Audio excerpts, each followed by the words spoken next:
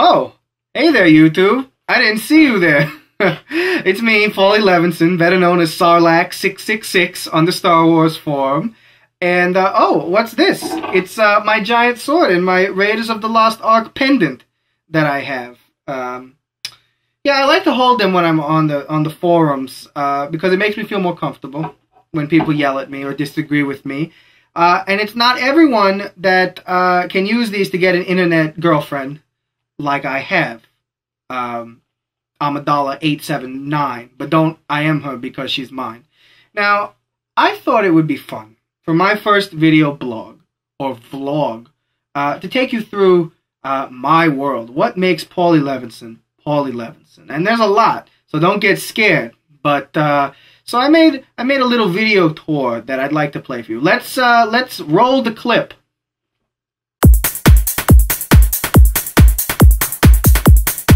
Welcome back, YouTube. Okay, so this is like my my command center, as I call it. There's a lot of I got I got all the I have the Han Solo trilogy, uh, you know, there and the X-wing books, which were the books about Wedge Antilles, who you know is you know the guy that lived that wasn't Luke or Han is Wedge. This is something I picked up uh, from the Cartoon Planet, as it was called at the time. It's called Cartoon Network now I think Cartoon Planet is better. I think it's at, more accurate to what we're trying to accomplish in animation these days. But look at this. Look at this. It's Fred is conducting the the the you know the the, the opera here. But but look who you have as the first chair violin. Smedley the dog. It's ridiculous. It's ridiculous. He, that's the dog. He goes.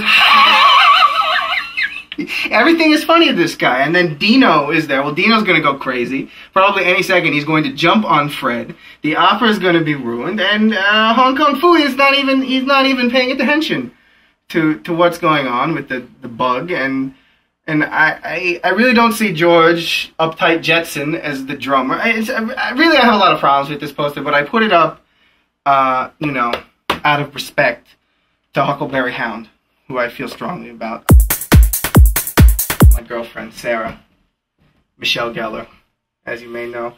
Uh, I like this because I like to pretend that I'm walking out of my house and it's like Sarah's kind of crouched in the bushes waiting for me to come out. Maybe she's going to stake me. I don't know. I don't know if that's going to happen, but I like it because either that or it looks like she's going to the bathroom. I'd like to end with this. This is a little bit of a well, this means a lot to me. I'm going to let you in on a little secret, YouTube. This is this is Calvin and his and his tiger Hobbes. Some say imaginary, some say real. I think real. And I painted this according to the indispensable Calvin and Hobbes collection. And for those of you that don't know, Calvin and Hobbes is about a little boy who just wants to dream. And they don't let him dream.